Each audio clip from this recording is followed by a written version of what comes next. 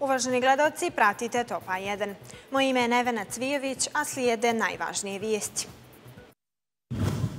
Đukanović je dobar političar, ali ne vodi demokratsku državu, ocijenio je Fukuyama. Kraj epidemije s jutra, maske obavezne i dalje. Poslanicima znatno smanjene plate. S jutra sunčano.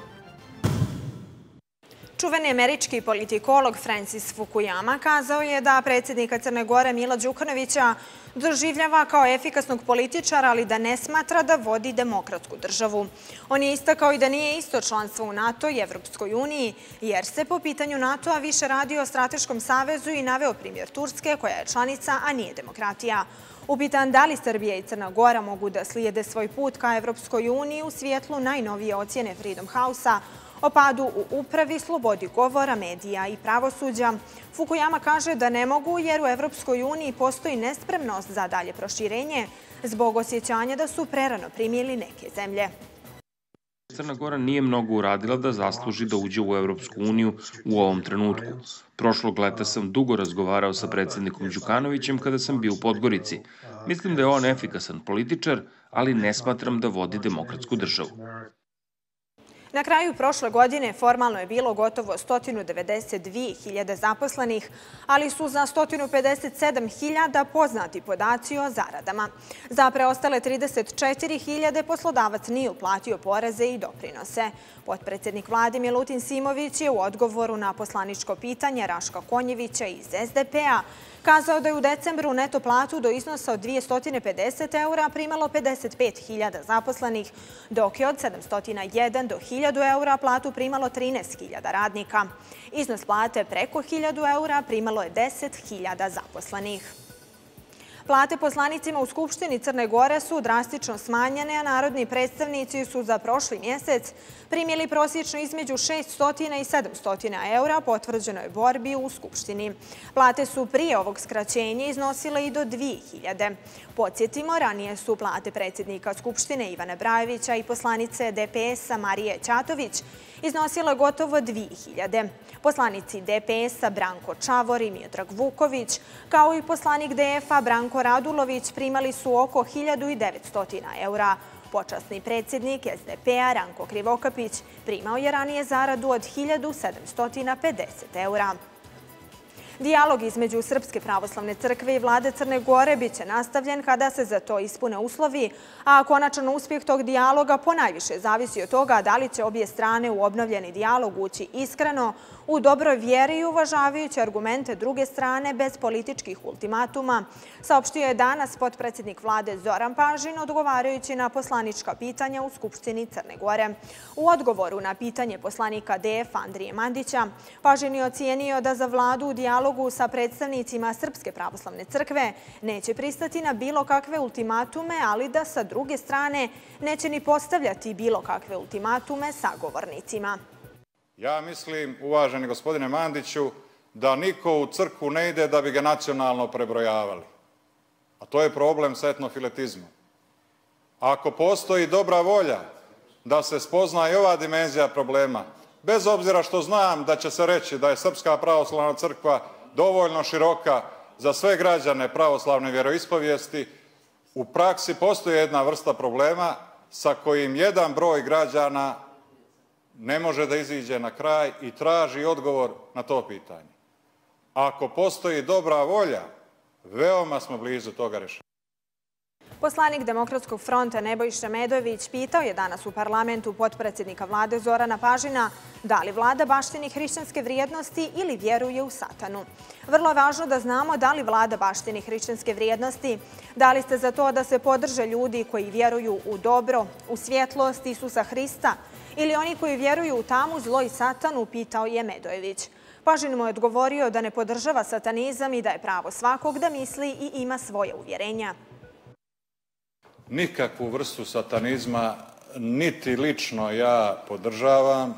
Nemam uopšte dobro mišljenje o takvom pristupu stvarnosti. Pravo je svakoga da misli i da ima svoja uvjerenja u skladu sa sobstvenom savješću.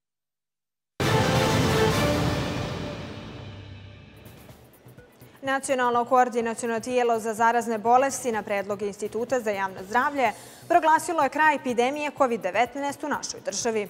Ovo je rezultat više mjesečnih napora svih u sistemu i naših građana. Hvala na povjerenju, objavljeno na Twitter nalogu vlade. Navodi se da će neke mjere biti ukinute, ali kako pandemija još traje, ostaju na snazi mjere protiv importacije virusa.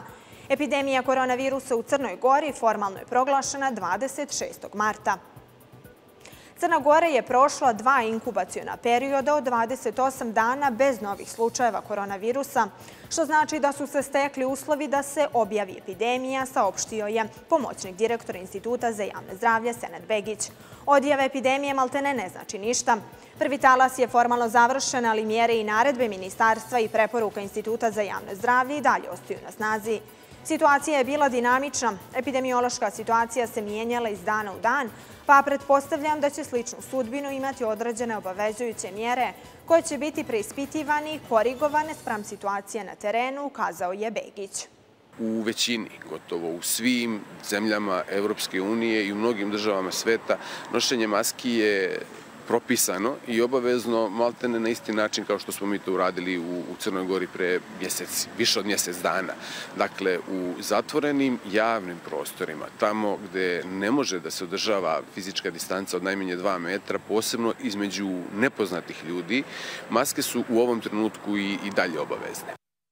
U Crnoj Gori po posljednjim podacima ima 62 milionera. Građani na koji na računima u ovdašnjim bankama imaju milion i više eura.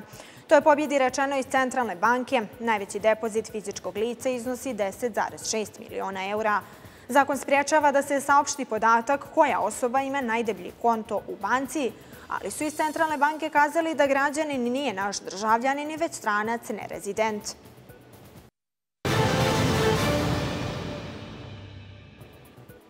Sudija Osnovnog suda u Podgorici danas je odbio predlog tužiloštva da se odredi pritvor Luki Vojvodiću, koji se sumnjiči da je polomio spomen ploču u ravnom lazu, tako da će se Vojvodić braniti sa slobode.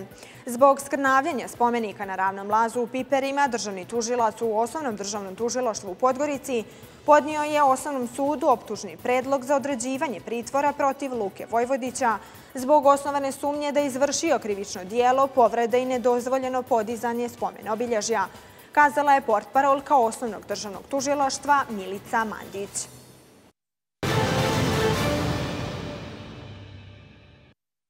Bivši predsjednik opštine Budva, Rajko Kuljača, preminuo je u 54. godini na putu do Kotorske bolnice od srčanih problema.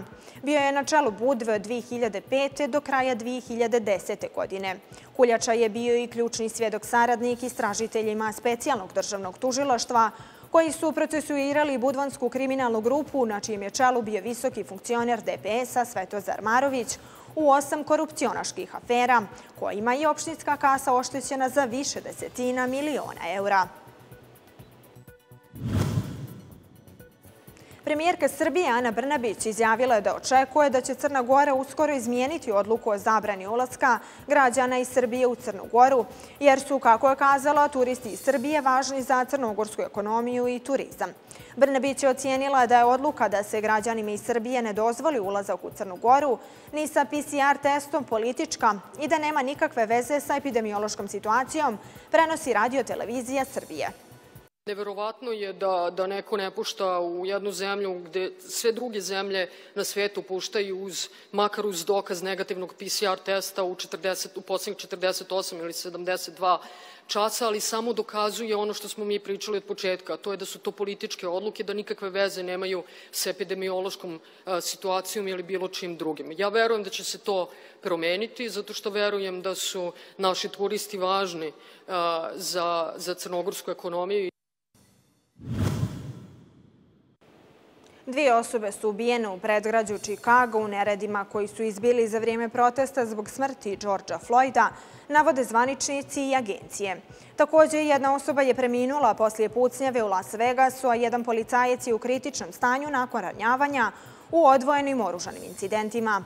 U St. Louisu su u pucnjevi ranjena četiri policajca, a u Njujorku je povrijeđen jedan policajac, kada ga je udarilo vozilo čiji je vozač pobjegao. Nijedan policajac nije životno ugrožen, javlja CNN. Više od 7200 ljudi je uhapšeno u 43 američka grada tokom protesta za vikend. Oni su optuženi za krađu, podmetanje požara, napade na policiju i zazivanje nemira.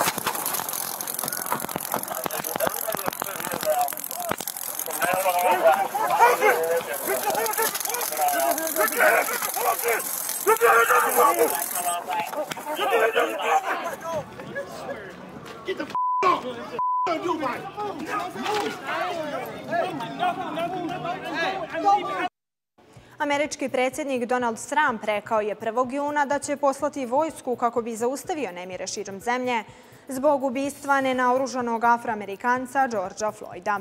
Trump je rekao da će rasporediti američke vojne snage ukoliko guverneri ne budu poslušali njegovu preporuku da razmijeste nacionalnu gardu u dovoljnom broju da dominiraju ulicama. Ukoliko grad ili država odbiju poduzeti aktivnosti neophodne da bi se odbranili životi i dobra njihovih građana, u tom slučaju ću rasporediti američke vojne snage i brzo riješiti problem. Sjutra premijenjevo oblačno sa sunčanim intervalima u popodnevnim satima, uglavnom u kontinentalnim predjelima. Mjestimično se očekuje kiše ili kratkotrajan pljusak praćen grmljevinom. Vjetar slab do umjeren promjenjivog smjera. Jutarnja temperatura vazduha 4 do 16, najviša dnevna 26 stepeni. Bile su to najvažniji vijesti. Hvala na pažnji.